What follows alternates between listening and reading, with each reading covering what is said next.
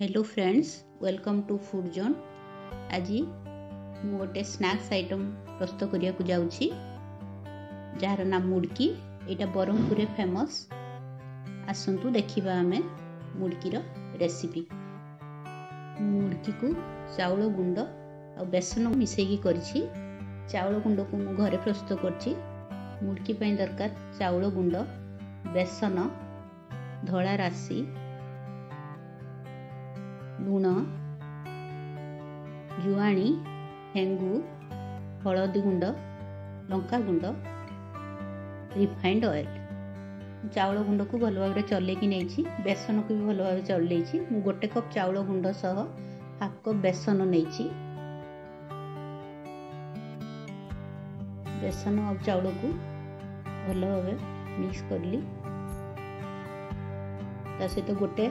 ବଡ଼ ଚାମଚ ଧଳା ରାଶି ଆଡ୍ କଲି ବଡ଼ ଚାମଚ ଲଙ୍କା ଗୁଣ୍ଡ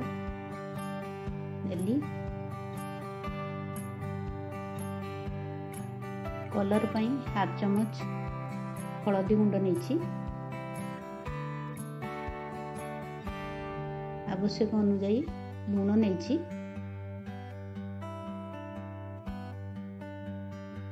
ହେଙ୍ଗୁ କିଛି ଦେଇଛି ତା ଭିତରେ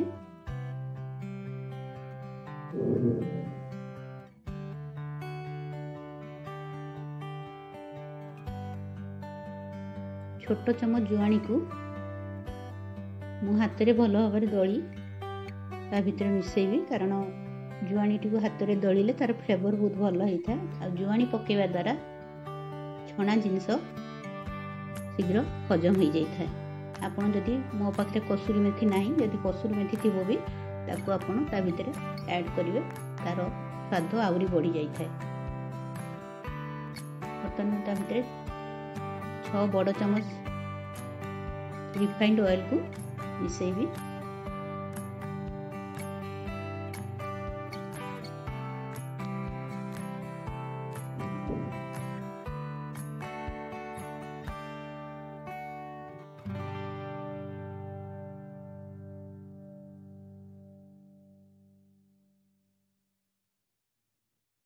ବର୍ତ୍ତମାନ ତାକୁ ଭଲ ଭାବରେ ଗୋଳେଇ ଦେଲି ଏବଂ ତାକୁ ହାତରେ ପାଞ୍ଚରୁ ଛଅ ମିନିଟ୍ ପର୍ଯ୍ୟନ୍ତ ଭଲ ଭାବରେ ଘଷି ଘଷି ଗୋଳେଇବି ଏମିତି ହାତରେ ଘଷିବା ଦ୍ୱାରା ମୁଡ଼କୁଟି ବଡ଼ କ୍ରିସ୍ପି ଆଉ କ୍ରଞ୍ଚି ହେଇଥାଏ ଦେଖନ୍ତୁ ଏବେ ତାକୁ ଟାଇଟ୍ କରି ମୁଠା କଲେ ଏମିତି ସେ ବାଇଣ୍ଡ ହେଇକି ରହୁଛି ବର୍ତ୍ତମାନ ଗରମ ପାଣି ଆସ୍ତେ ଆସ୍ତେ କରି ମିଶାଇବା ଅଳ୍ପ ଅଳ୍ପ ପାଣି ଦେଇ ତାକୁ ଆସ୍ତେ ଆସ୍ତେ কেয়ারফুলি চামচରେ ମିଶାଇବା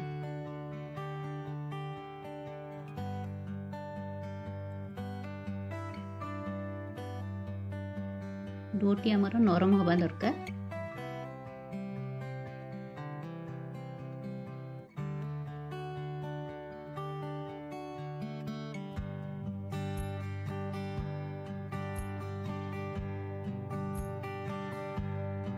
ଡୋକୁ ଭଲ ଭାବରେ ଦଳି ପନ୍ଦର ମିନିଟ୍ ପାଇଁ କଭର୍ କରି ରଖିଦେବା ଦେଖନ୍ତୁ ଡୋଟି କେତେ ନରମ ହେଇଛି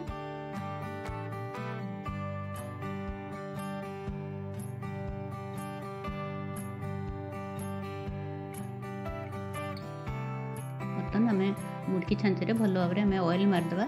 ଯାହାଦ୍ୱାରା ମୁଡ଼କି ଗୁଡ଼ିକ ଖୁବ୍ ସୁନ୍ଦର ଭାବରେ ବାହାରି ପଡ଼ିବ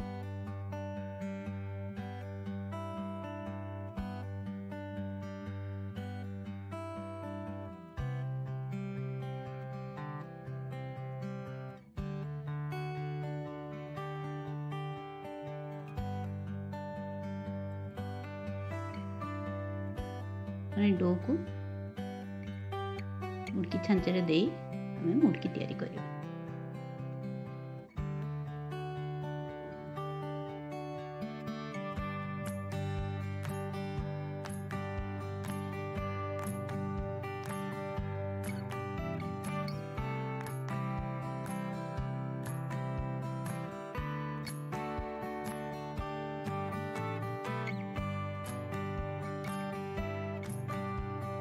ঝোলকে আস্তে দিয়ে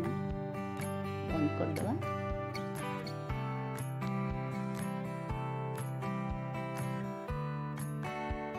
ওভরকে ଭଲ ଭାବରେ ବନ୍ଦ କରିଦେବା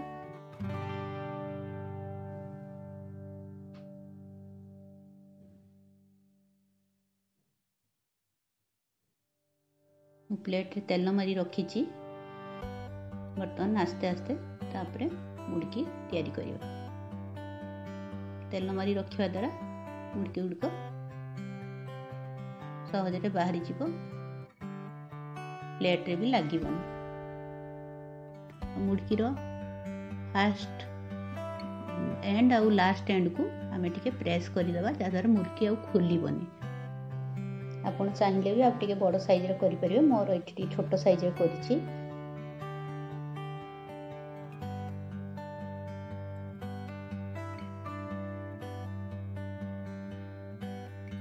ପ୍ରଥମେ ଗ୍ୟାସ୍ରେ କଢ଼ା ବସାଇ ମୁଁ ତେଲକୁ ଗରମ କରିଦେଇଛି ତାପରେ ଗ୍ୟାସ୍ର ଫ୍ଲେମ୍କୁ ଲୋ କରିଦେଇଛି ଲୋ ମିଡ଼ିୟମ୍ ଫ୍ଲେମ୍ରେ ଆମେ ତାକୁ ଛାଣିବା ବେଶୀ ତେଲ ବେଶୀ ଗରମ ହେଇଗଲେ ପୋଡ଼ିଯାଏ ଆଉ ଭିତରଟା ବି କଞ୍ଚା ରହିଥାଏ କିନ୍ତୁ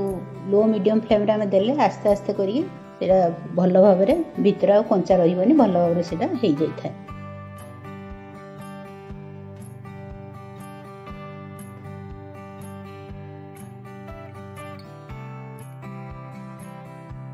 ଏବେ ଦେଖନ୍ତୁ ମୁଡ଼କି ହେଇ ଆସିଲାଣି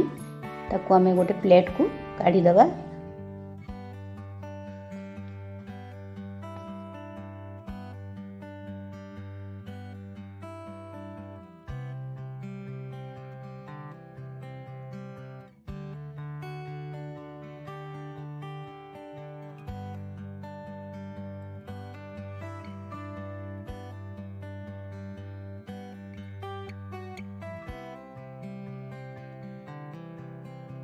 ଟିକେ କେତେ ସୁନ୍ଦର ଦେଖାହେଉଛି ଆଉ କେତେ କ୍ରିସ୍ପି ଆଉ କ୍ରଞ୍ଚି ବି ହେଇଛି ଦେଖନ୍ତୁ